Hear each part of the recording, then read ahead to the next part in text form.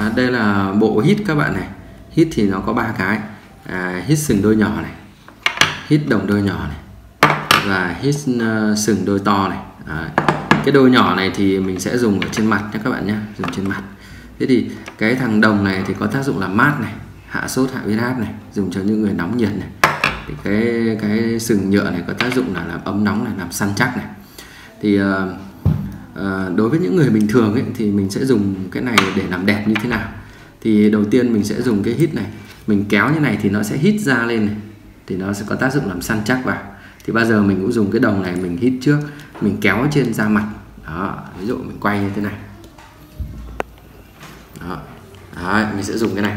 Mình sẽ kéo lên như này để nó chống sệ má. À, chống sệ má và nó xóa nếp nhăn đi. Các bạn hít nhẹ nhàng như này mình thay đổi cái góc độ ờ, cán cầm của mình ấy, thì cái độ hít nó sẽ khác nhau. Các bạn cứ hít như này. Đấy, thì đồng thời nó xóa nếp nhăn và nó chống sệ má. Đấy, như này.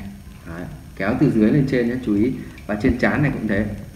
Trán này cũng thế cũng kéo từ dưới lên trên. Vùng này thì kéo từ dưới chéo ra như này. Xu hướng là cứ chéo từ dưới lên trên. Đó.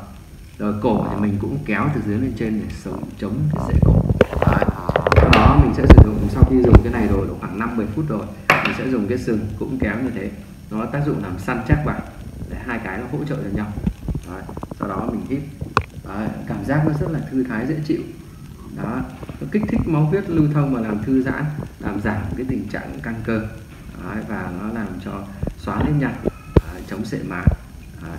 rồi, còn à, bây giờ là đến cái cây cây to này hít to này như nào hít to này thì mình sẽ trực tiếp cho nó hít trên bụng.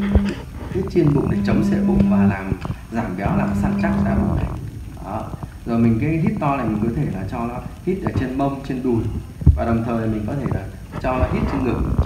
Cho nó hít trên ngực làm săn chắc ra uh, ờ, ngực này này. Chống cái ngực chảy xệ và nó sẽ làm cho từ mướt thành bưởi năm đo. Ok các bạn làm như này cứ mỗi một cái ba cái dụng cụ các bạn làm trên mặt này bụng này trên Ờ, ngực này, nó cũng mất từ khoảng 40 đến 50 phút một ngày, có thể làm ba lần như vậy, hoặc dỗi lúc nào làm lúc đấy. Ờ, chúc các bạn thành công và càng ngày càng đẹp.